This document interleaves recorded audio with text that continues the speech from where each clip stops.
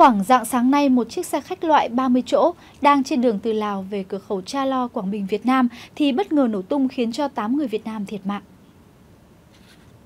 Thông tin ban đầu, địa điểm xảy ra vụ tai nạn cách cửa khẩu Cha Lo, Quảng Bình khoảng 10 km thuộc tỉnh Khăm Muộn của Lào. Tại hiện trường, chiếc xe hư hỏng nặng, đặc biệt là phần đuôi xe. Trên xe chở nhiều gỗ chắc, vụ nổ đã khiến cho 8 người bị cháy xém tử vong tại chỗ, 3 người khác trên xe bị thương nặng. Nơi xảy ra tai nạn là khu vực rừng núi, ít cư dân nên việc cấp cứu gặp nhiều khó khăn. 12 hành khách trên xe chủ yếu là người Nghệ An. Sở Giao thông Vận tải tỉnh Nghệ An cho biết chiếc xe gặp nạn mang biển kiểm soát của Lào UN3897 là xe của nhà xe Khánh Đơn chạy tuyến Lào Nghệ An.